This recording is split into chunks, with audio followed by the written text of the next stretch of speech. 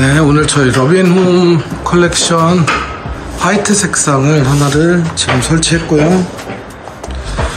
네, 보시면 이쪽에는 수납, 서랍통 있고 이쪽에는 긴 수납. 혹시 이제 원하신 분들 한해서 이렇게 피규어함 같은 거 이거는 모두 원터치 방법으로 되어 있습니다 지금.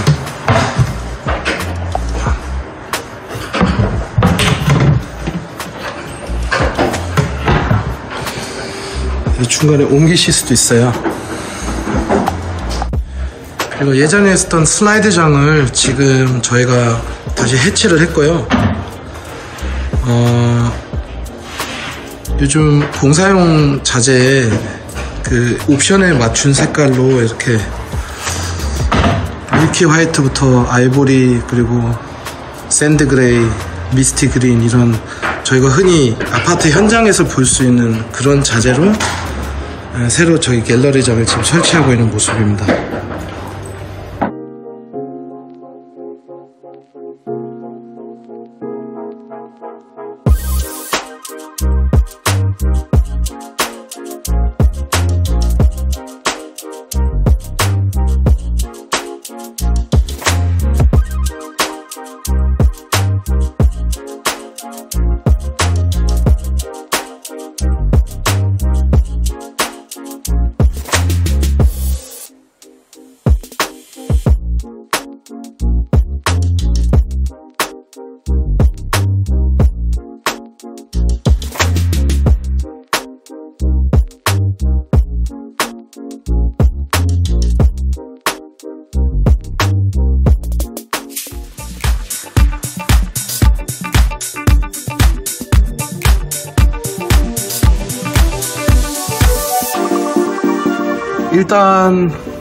제일 먼저 선보이는 거는 바로 이 러빈홈이라는 주문 제작식 오픈형 책장인데요. 이게 특징이 타공이나 실리콘 마감이 필요 없어서 나중에 여러분들이 예, 옮기실 수가 있어요. 이사를 갈 때나 아니면 이사 말고 이제 본인의 집에서 어, 좀 위치를 변경하고 싶을 때 변경도 가능하고 칸도 추가를 할 수 있고 어떤 수납 솔루션을 우리가 소위가 아는 레고처럼 이렇게 위치나 어떤 추가 사항이나 뺄 수 있거나 이런 것들이 가능합니다. 그래서 지금 보시는 이 사진이 실질적으로 제일 인기가 있었던 게 이게 이제 이런 알파룸 서재 신랑분들의 서재나 학생 방에 어, 원하는 부분으로 꺾거나 책상을 함몰시키거나 아니면 이런 공간 같은 경우는 프린터기를 조금 함몰시킬 수 있거나 뭐 컴퓨터를 양쪽으로 놓고 이런 다양하게 쓰일 수 있는 그런 솔루션이라고 보시면 되고요. 색상은 화이트와 예, 서재 오크 이 두 가지 색상으로 저희가 지금 출시를 했어요. 그래서 여러 가지 수납이 가능한데 만약에 이런 이동식이 좀 싫고 좀 인테리어처럼 좀 고정되어 있는 걸 좋아하시는 분들은 예, 이런 식으로 저희 쪽에서 이렇게 주문 제작 자체가 가능해요. 약간 우리가 소위 말한 인테리어 업체에서 이제 바닥이나 대리석이나 이런 여러 가지 시공을 할 때 이렇게 방까지 좀 의뢰를 하게 되는 경우가 있는데 저희 브라스코에서는 예, 이런 단품 자체만 이렇게 짤 수가 있기 때문에 사람들이 좋아하시죠. 이 부분은 지금 뭐냐면 보통 주니어장을 많이 저희가 설치를 하려고 하잖아요. 근데 이거는 저희가 설치를 한 거예요. 그래서 결국은 기존 건설사하고 비슷한 색깔, 거의 동일한 색깔로 아예 수납형 침대를 짜서 약간 좀 같은 세트로 마침 옵션에서 이렇게 파생한 것처럼 옵션에서 고르신 것처럼 그렇게 보이는 게 이제 저희 목표고 이런 것들이 이제 우리가 흔히 알던 일반 가구점하고 틀린 게 이런 식의 주문 제작이 일일이 가능합니다. 그래서 어떤 dead space가 나오면 안 돼요. 여기서 제가 한 가지 음, 좀 조언 드리고 싶은 게 어떤 아파트 단지든 실제적으로 이제 주니어장을 이제 하나를 복사를 하고 싶은 분들이 계신데 이거 색깔은 신경 쓰지 마세요. 이건 그냥 대표적으로 그냥 이렇게 좀 카달로그 이쁘게 나와서 저희가 핑크와 스카이블루를 했는데 실질적으로는 이거보다 좀 화이트한 얌전한 색깔들이 많이 이제 구매가 되겠죠. 근데 잘 보시면 이 차입니다. 기존 건설사 쪽에서 많이 제공되고 저희들이 좀 복사를 하고 싶은 형태가 이제 이 옆구리에 책장이 노출되어 있는 형태인데 제가 이거를 그리 추천하지는 않아요. 이게 은근히 먼지가 많이 쌓입니다. 차라리 이거보다는 같은 형태지만 이 부분을 아예 처음부터 거울이 이런 식으로 무늬 달려 있어가지고 따님들 같은 경우는 여기에다가 화장품이나 작은 물건을 적재를 할 수 있는 그런 용도로 맞추는 작은 방 붙박이가 훨씬 더 실용적이더라고요. 지금 이거 같은 경우는 은근히 필요 없는 물건을 적재하게 되고 실질적으로 이 안에 있는 공간이 이제 그만큼 죽어버리는 거죠. 얘보다는 얘보다는 얘가 수납 능력이 뛰어납니다, 여러분. 그 다음에 이제 냉장고장이나 홈바 관련 부분인데요. 예. 많은 분들이 이제 냉장고장에 대해서 관심인데 제가 미리 영상에 앞서서 말씀드리면 저희가 냉장고 단품만은 취급하진 않아요. 가격대도 안 맞으실 거고요. 근데 기존에 있는 붙박이를 하신 분들은 저희가 이제 서비스 측면에서 에, 그 집들 한해서는 서비스로 제공하는 건 아니지만 시공 자체를 저희가 해드리는 게 저희 브라스코에서 우리 브라스코의 누림에서 이제 하는 형태는 이쪽에 철심을 박아요. 네, 그래서 이 상부장이 처지는 경우가 많습니다. 네, 이 사진으로 보여드리면 처음에는 잘 있다가 이 부분, 이 중간 부분이 좀 처지는 경우가 생겨요. 그래서 그거는 이제 저희 쪽에서 시공을 하면 여기에 시스템 에어컨에 그 앙카 박는 것처럼 어떤 고정 장치를 저희가 따로 하기 때문에 이게 1년이든 2년이든 3년이든 4년이든 계속 이 상태를 유지를 합니다. 그리고 이제 이쪽으로 관심 있으신 분들도 많으신 게 이제 김냉 대신에 홈바를 하려고 하신 분들도 있는데 이건 뭐 어렵지는 않고요. 지금과 같은 경우는 예전 사진이기 때문에 지금 현재는 거의 자재 색깔을 맞춘다고 보시면 될 것 같아요. 네, 이거 같은 경우는 이제 수원 프리조 자이에서 어떤 분이 좀 애매한 공간이어가지고 저희가 이런 식으로 예, 함몰시키는 그런 형태라고 보시면 돼서 전체적으로 이렇게 좀 화이트 톤으로 전체를 냉장종, 냉장고장과 더불어 맞추려고 하는 경향이 있는데 예, 홈 스타일링 받으러 오시면 제가 이런 필름지 를 직접 파는 사람은 아니지만 어떤 형태로 그 기존에 구매하신 냉장고하고 매칭이 되는지 정도는 예, 제가 좀 알려드릴 수가 있습니다.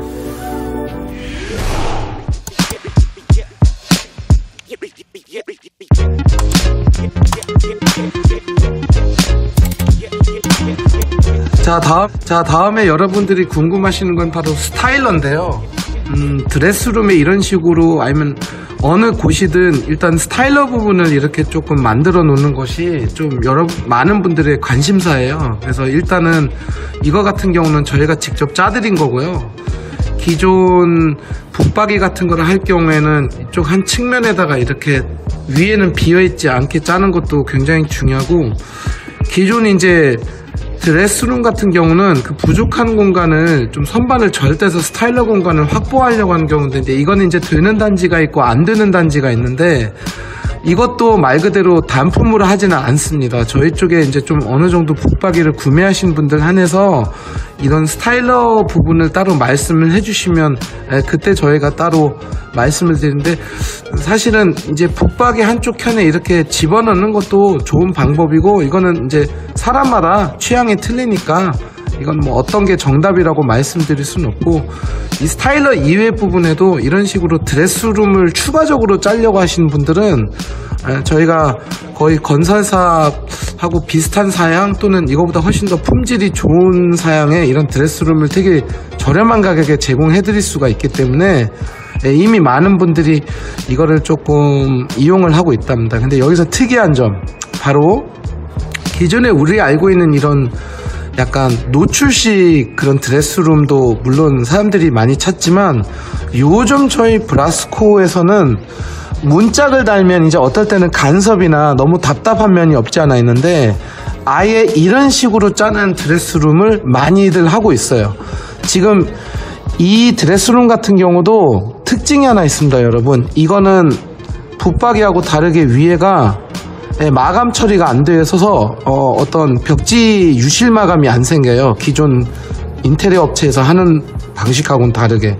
그래서 어떻게 보면 어, dead space를 최대한 줄였기 때문에 정말 붙박이처럼 쓸 수 있는 드레스룸이라고 생각을 하시면 되거든요.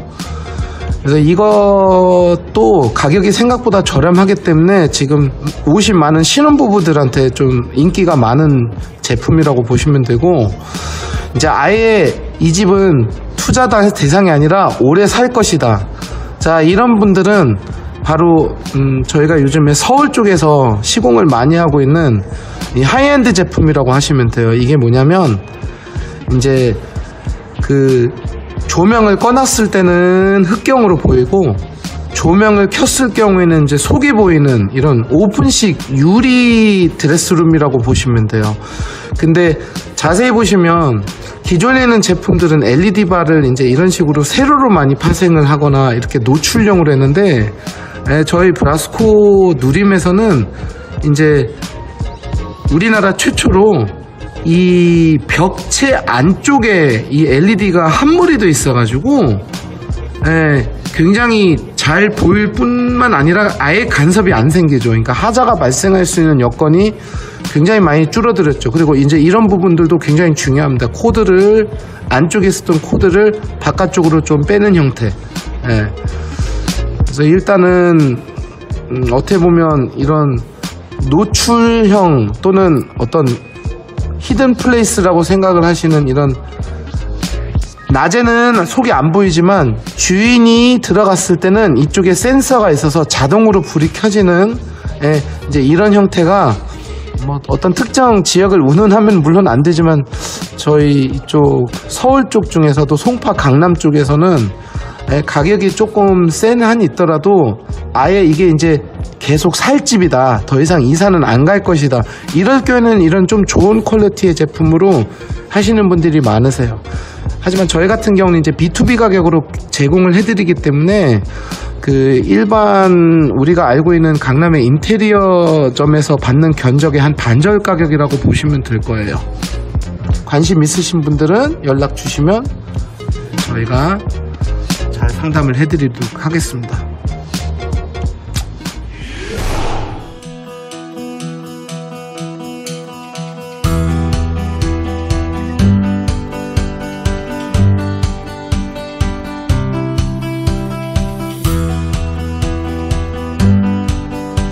자 이제 붙박이 같은 경우는 이제 좀 얘기가 어, 좀 달라지겠죠. 바로 우리가 알고 있는 기성장은 바로 요 턱이 있기 때문에 이거를 저희 home styling 받으신 분들이 굉장히 예민하게 싫어하는 부분입니다. 또는 이런 식으로 이 위에는 공간이 비어 있는 이런 dead space 예, 이런 거를 이렇게 결코 좋아하진 않아요. 이거는 물론 비어있는 공간은 아니지만 어쨌든 간에 육안상으로는 이게 천장으로 느껴지잖아요. 선이 어떤 종선이 하나가 이렇게 그어져 있기 때문에 그래서 예, 잘 보시는 것처럼 저희 브라스코는 아예 끝까지 올라갑니다. 게다가 자재를 맞추죠. 거의 자재를 비슷하게 맞추기 때문에 예, 어떤 천고가 좀 더 높아 보일 거예요.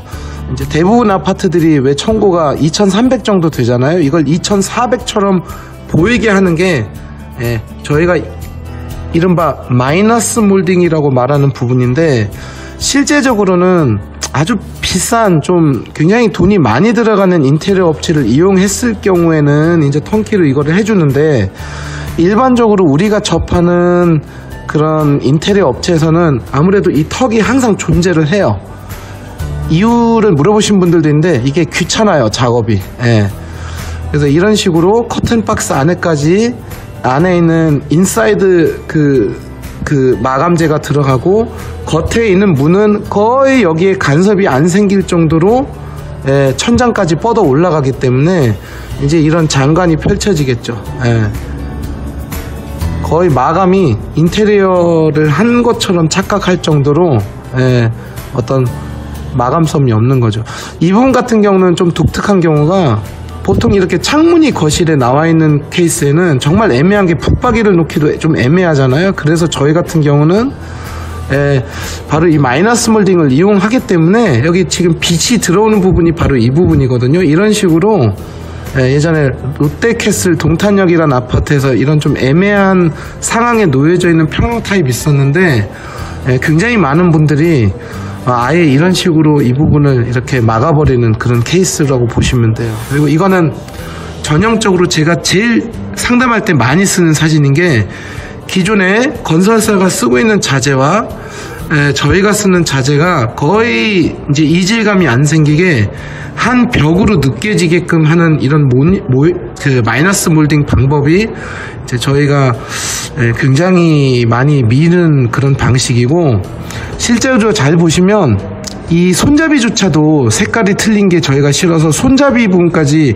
이게 잘은 안 보이지만 지금 이 사진에서는 이게 그냥 하나의 패널 또는 하나의 아트월처럼 보이게 하는 그런 방식이라고 보시면 돼요.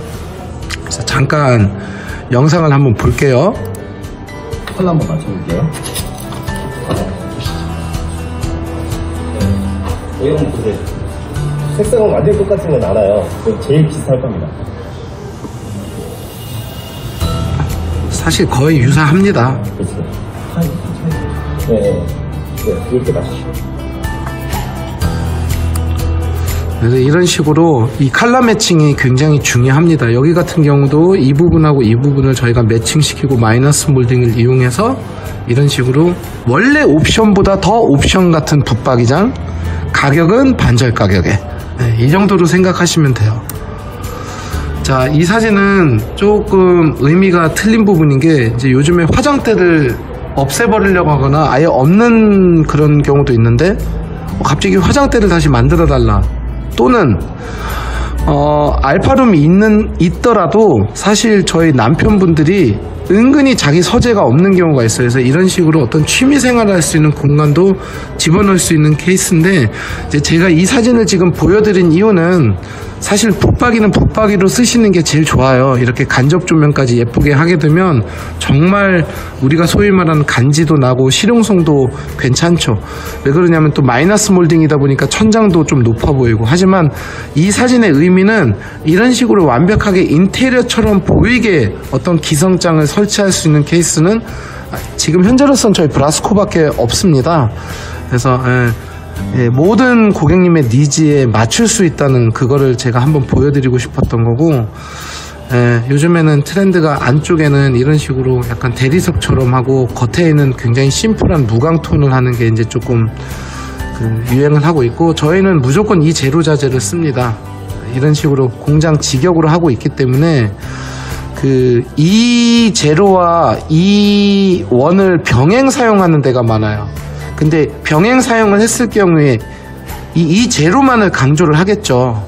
예, 저희는 겉과 속이 모두 다이 제로로 되어 있기 때문에 일단은 가장 쉬운 구분 방법이 냄새가 안 나야 돼요. 네, 저희 쪽은 냄새가 안 나기 때문에 사람들이 이제 소개를 많이 시켜주시고 또 하셨던 분이 이사 가면 또 하고 이제 이런 식으로 생각을 하시면 되는 거고 에, 저희가 대체적으로 이제 쓰는 자재들은 에, 다 대기업 자재들을 쓰고 있고 외국 자재도 덜어 가지고는 있지만 일단은 이 힌지 부분 같은 경우는 무조건 국산을 써야 되는 걸로 알고 있습니다. 그래 AS가 수월해요. 나중에 붙박이 같은 경우는 2, 3년 뒤에도 AS가 납니다.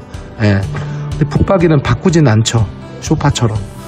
이런 식의 특징도 제가 한번 정리를 해드렸고 요즘에 나온 신제품이 이 대리석처럼 나오는 자재라던가 아니면 이런 식으로 이 건설용 자재하고 거의 상이한 네, 이런 자재를 저희들은 주로 이용을 하고 있습니다. 그래서 한 듯 안 한 듯.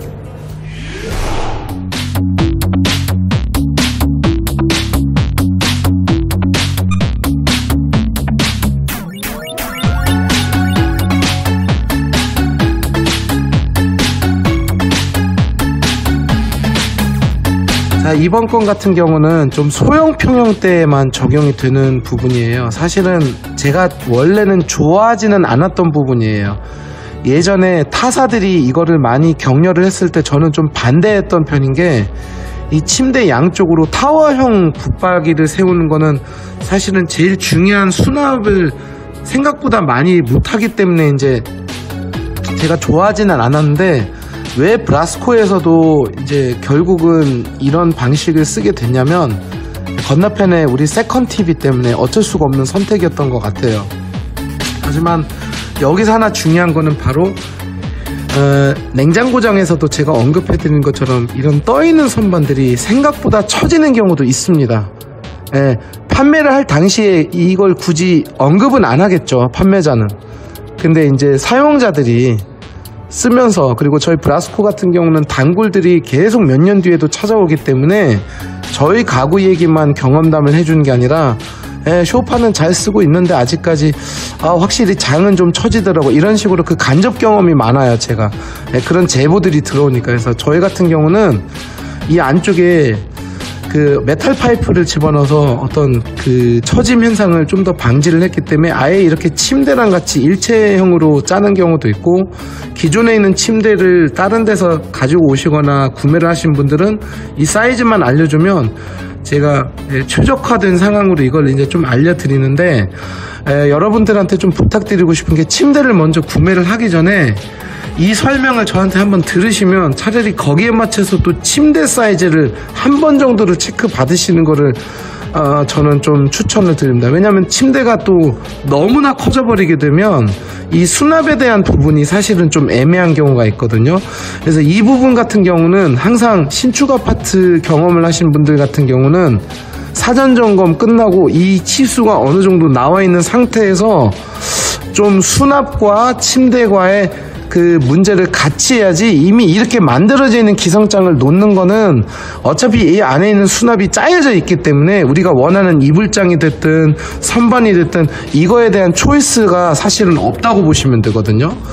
그래서 어쨌든 간에 에, 조금 어떤 색상 같은 거는 상관이 없지만 그거는 어느 회사든 다 맞춰주는데 이 안에 있는 내부 그 상황을 어떻게 해야 어, 좀 유용하게 쓸 수 있는지는 이제 저희 쪽에서 한번 상담을 받아 보시는 것도 나쁘지는 않을 것 같아요.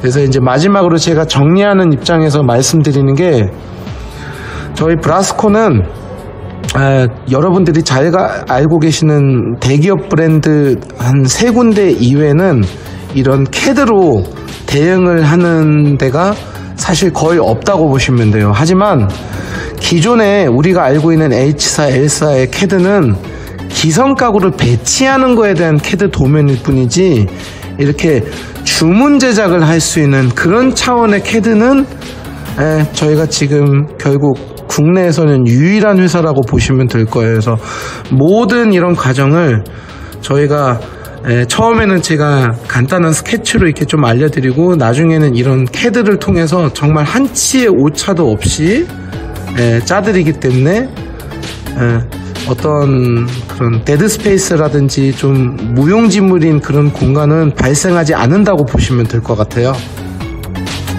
그리고 마, 마지막으로 마무리하자는 어, 차원에서 한번 보여드리면 이건 이제 제가 직접 스케치라는 건데 이런 식으로 제가 어떤 거실이 됐든 어떤 알파룸이나 어떤 다이닝룸이 됐든 제가 그 상황에 따라서 모든 거리라든지 치수 또는 그 가구의 주문 제작 가능 여부 이런 거를 제가 판단을 하면서 이 집 같은 경우는 이 고양이 캣타워가 굉장히 신경이 쓰였거든요. 그래서 전체적인 밸런스를 주문 제작을 해드렸고 이렇게 안마 의자가 있는 경우는 사- 진짜 애매해요.